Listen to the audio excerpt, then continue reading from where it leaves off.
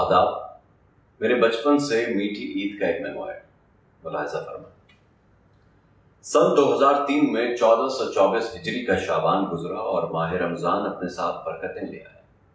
मेरी रोजा खुशाई को दो साल हो चुके थे और मैं दिन ब दिन नौमरी से निकलते हुए जवानी की दहलीज के करीब आता जा रहा नथनों से कुछ नीचे मूछों की पहली फ़सल फैलते फैलते दिन ब दिन मेरे चेहरे की मासूमियत पर गालिब हो रही दुनियावी मामला में तजस्स बढ़ रहा था नई नई किस्म की ख्वाहिशें जन्म ले रही थी और ये सब मिलकर मेरी मंसूबाबंदी की सलाहियत को फरोग दे रहे। रमज़ान के आखिरी हफ़्ते में ईद की तैयारियों का सिलसिला तेज हो गया। शब कदर की इबादतों में हर साल की तरह ईदी में बरकत की दुआओं ने शिद्दत इख्तियार कर ली। अल्लाह मियाँ से सौदेबाजी करने लगा कि मेरे मालिक, अगर इस साल तीन हज़ार रुपये तक ईदी जमा हुई तो अगले साल सारे रोज़े रखूँगा। वो भी पाँच वक्त की नमाजों के साथ मेरे मान खैर, दुआएँ अपनी जगह थी, लेकिन बड़े बुज़ुर्गों के कौल के मुताबिक कुछ हरकतों में भी तो बरकत होती है। इसलिए ईदी में इजाफे के लिए हालात का जायजा लेते हुए एक माकूल मंसूबे की ज़रूरत थी। वही खानदान जिसके बारे में अक्सर यह ख्याल आता था कि ऐसे खानदान का क्या फ़ायदा, उनसे फ़ायदा निचोड़ने का वक्त गिबत की बदौलत मेरे पास खानदान की मशहूर जमाना राज न्यास का जखीरा था। खानदानी सियासत की समझ बूझ थी, जो इस तजिए में काफ़ी मददगार साबित हुई। उसके अलावा खानदान के मिलने वालों की तबीयत और उनकी शख्सियत से इतना मानूस भी था कि ईदी देने के मामले में उनकी फराख दिली और फलूस का अंदाज़ा लगा सका। मैंने गुजशत ईद के तजुर्बों को मद्देनजर रखते हुए खानदान और बाकी मिलने वालों की फहरिस्त तैयार की, जिन जिनसे ईदी मिलने की तो थी। सुबह शाम मेरी जहनी आजमाइश का मरकज फहरिस्त में दर्ज लोगों का तजिया बन गया। अकल पर ज़ोर डालकर मुख्तलिफ़ जावियों से सोचता रहता कि इस साल इनसे कितनी ईदी मिलने के इम्कान है और फहरिस्त में उनके नाम के आगे वो रकम दर्ज करता जाता कहीं आप सब मेरे इस मजमून में मेरी ईदी की रकम को हकीर न समझे, इसलिए उस दौर में रुपयों की हैसियत का हवाला देता चला 2003 में एक डॉलर तकरीबन पैंतालीस रुपयों का था और मेरे हल्का अहबाब में काबिल कबूल ईदी कम से कम पचास रुपए तक की पिछहत्तर अफराद की फहरिस्त में सबसे पहले उनके नाम थे जो ईद की नमाज़ के फ़ौरन बाद ईदी देते उन हजरात में ईदी अव्वल मेरे ताया से मिलती, जो उनसे गले मिलने पर वसूल होती। मजमे में मिलने वालों से नज़र बचाकर वो पचास रुपए का करारा नोट हथेली में राजदारी के साथ जमा देते कि दूर दराज के रिश्तेदार न देखें, क्योंकि उनके बच्चों को सिर्फ़ दस रुपए ईदी मिलने वाली होती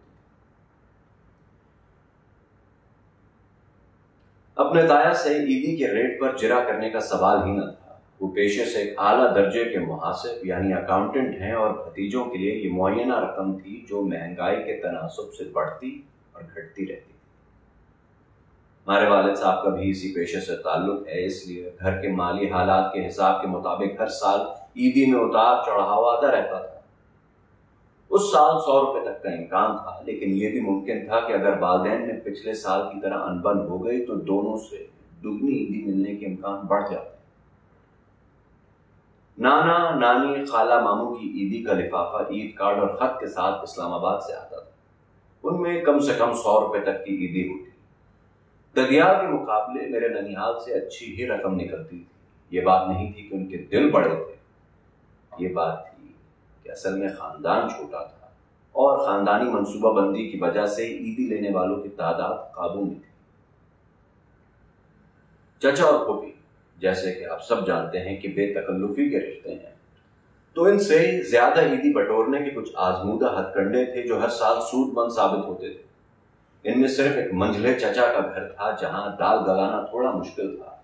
क्योंकि वहाँ ये ज़िम्मेदारी मंझली चची ने उनसे जब्त कर ली थी, क्योंकि मंझले चचा का पिछला रिकॉर्ड कुछ अच्छा न भांजे भतीजे उनकी नर्म मिजाजी और फनोजौक की बेकदरी का फ़ायदा उठाकर अपनी मर्ज़ी की रकम घेर लेते थे। चचाओं में सबसे खास छोटे वाले चचा इकबाल हैं, जिनको मुझसे खास अकीदत है। बाकी सबको वो हसब रिवायत बीस रुपए ईदी देते थे, लेकिन मुझे दोनों हाथों से खुद ही बुलंद करके कहते कि बता, तेरी रजा क्या है? इस मोहब्बत का पस मंजर यह है कि मैं अपने दादा के सोम वाले दिन पैदा हुआ। इसलिए मुझे उनसे पुरस्कार नस्बत हासिल है। इसलिए मेरा नाम फराज भी उनके नाम सरफराज पर रखा गया था मुझे देखकर उनको अपने अब्बा याद आ जाते थे और मैं इसी कमज़ोरी का फ़ायदा उठाते हुए ईदी में हज़ार रुपए तक की फरमाइश करता। जो पूरी हो जाती फिर इस रकम की नुमाइश करके मैं हर साल खानदान में फितना खड़ा कर देता। मेरे पोपीजाद भाई बहन अपने बीस रुपए के सामने मेरे हज़ार रुपए का करारा नोट देखते ही रोना शुरू कर देते इस पर सारी पोपियाँ मिलकर इस भतीजा खास की मोहब्बत को तासुब का रंग देकर खानदान में बलवा खड़ा कर देती और चचा का अपनी जान बचाना मुश्किल हो जाता मेरी फहरिस्त में रिश्तेदारों का एक वो तबका था जिनके नाम बड़े हरूफ में लिखे यह तबका था अमरीका और इंग्लिस्तान से आने वाले रिश्तेदारों का जो डॉलर्स और पाउंड्स में ईदी देता था। ये वो रिश्तेदार थे जिनके उर्दू के तलफ़ में दो तीन साल में ही जंग लग गया था, लेकिन खानदान से दूर होने की वजह से खुलूस में आज भी ताजगी थी। इसी इंतहाई शौक में ये कम अज कम दस से पंद्रह डॉलर ईदी देते लैलतुल कदर की रातों में इनके आने की खास दुआएँ मांगी जाती थी। क्योंकि ये ईदी के मामले में ये खानदान का वो तबका था जिसने कभी रुसवा नहीं किया। मेरी फहरिस्त में कुछ खास हसास नाम भी थे। ये थे मेरे वालदेन के सबका मंगेतर, जिनकी दबी दबी मुस्कुराहट आज भी इतनी मशकूक थी कि वो भरे मजमे में नुमाया हो जाते थे। मेरी सूरत मेरे वालिद से मुशाबत रखती है तो वालदा के सबक मंगेतर सिर्फ़ बीस रुपए पकड़ाकर वही रवायती अंदाज में नज़रें चुराते हुए दर उधर हो जाते। लेकिन वालिद साहब के सबका मंगेतर की जब बारी आती तो वो दो सौ रुपये ईदी के साथ दोनों गालों पर गीले गीले बोसे भी जमा देते अब अल्लाह जाने किन बोसों का क्या मतलब हो। फेरिस में बाकी बड़ी रकम देने वाले लोगों में अब्बू के बॉस, अम्मी अबू के चंद दोस्त, आर्मी, नेवी और एयरफोर्स वाले रिश्तेदार और कुछ मालदार मिलने वालों के नाम। उसके बाद ईदी के मामले में नाकाबिल ज़िक्र लोगों की लंबी कतार लेकिन उनकी तादाद ज़्यादा होने की वजह से उनका हासिल जमा अच्छा खासा बन जाता था। खैर, तमाम जायजों के बाद जब फहरिस्त मुकम्मल हो गई तो एक बार पिछले साल के नुकसान को याद किया, ताकि अपने तजर्बे से कुछ इबरत हासिल करूँ। उसे दोबारा ना दोहराऊं और शैतानी कुतें यानी मेरे चचाजाद भाई जो उम्र में मुझसे काफ़ी बड़े हैं, उनसे मोहतात है। ये मेरे चचाजाद भाइयों का एक ग्रुप था जो पिछले कुछ साल से मेरी ईदी, मेरी मर्ज़ी के खिलाफ खर्च करवा रहा था। मुझे इस साल उनसे मोहतात रहना था और साथ साथ मुझे अपनी नीयत भी साफ़ रखनी थी। पिछले साल, दरअसल, मैंने उन्हीं चचाजाद भाइयों की देखा देखी अपने फुफीजाद भाई को घेरा था, जो उम्र में मुझसे काफ़ी छोटा था। उसके हाथ में मैंने एक हज़ार का नीला नोट देखा और वो देखकर मेरी नीयत खराब मैंने उसे बातों बातों में एक स्कीम पेश की और उसे अपनी ईदी के पाँच सौ का नोट देकर उसके हज़ार रुपए का नोट रख लिया और चलता रहा।